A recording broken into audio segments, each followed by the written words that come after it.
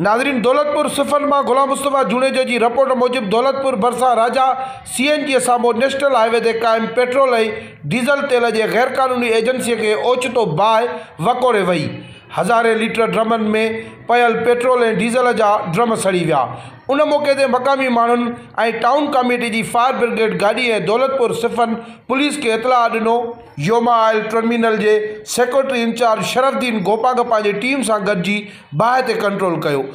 बाद में fire brigade अमलो पहुतो, लेकिन उन वक़्तु एजेंसीअ जे दुकाननि में पयल तेल समेत काफ़ी पयल इस्तेमाल जो सामान सड़ी रख थी वियो।